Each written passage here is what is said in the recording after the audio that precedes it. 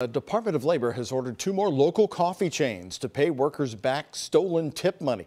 We first told you back this uh, back in December, the government found several coffee shops around town, including Heine Brothers and Sunergos Coffee, redistributed tips improperly when they diverted workers' tips to managers.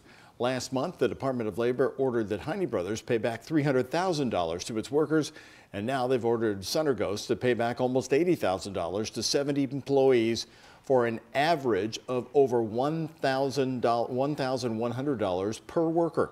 And they've also ordered please and thank you to pay almost $109,000 to 55 employees.